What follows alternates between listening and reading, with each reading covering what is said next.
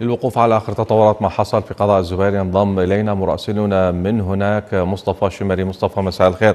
بداية ما هي آخر التطورات فيما حصل في قضاء الزبير وكم بلغ عدد الضحايا بين القوات الأمنية والمواطنين هناك؟ تفضل. نعم تحية طيبة لك يا زميلي. بخصوص موضوع حادثة آه الذي حصل في قضاء الزبير لغاية الآن يعني هنالك أخبار وهنالك أنباء تتداول حول الموضوع هنالك خمسة أشخاص اصيبوا ومواطن لكن اليوم الأحصائية الرسمية والحقيقية من المصادر الحكومية التي التي آه، تحرينا عنها هو إصابة مواطن آه، ومنتسب من آه، من من من, من الشرطة المتواجدين الذين كانوا في عملية إزالة التجاوزات، بالنتيجة اليوم حملة إزالة التجاوزات شملت محافظة البصرة بالكامل كافة المناطق المتواجدة في محافظة البصرة.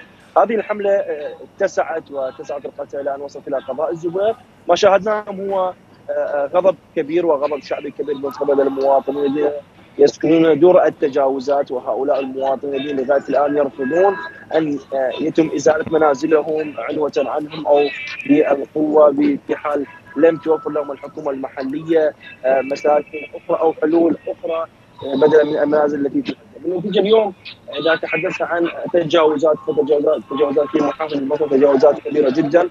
أعداد من المنازل منتشرة على مناطق مهمة في مدينة البصرة. ربما بعض المنازل هذه المنازل اللي كانت في قضاء الزبير أو في مدينة البصرة تعيق حركة الإعمار وتعيق من الحركه الاعماريه فبالنتيجة اليوم أي مشروع ينشأ في محافظة البصرة وعلى خط هذا المشروع هو منازل التجاوز سوف تزال هذه لكن هنالك آه، يعني مطالبات من خلال آه، دور التجاوزات بأن يعوضوا بقطع السكنية بأرض سكنيه وحتى آه، يعني يعوضوا بمنازل أخرى بدل من. ما حدث اليوم في قضاء الزبير هو ليس بالجديد على يعني حادثة التجاوزات في البصره تتكرر يوميا إزالة التجاوزات ولكن الضحيه هو المواطن المصري البسيط الذي يهدم داره والذي يهجر من داره.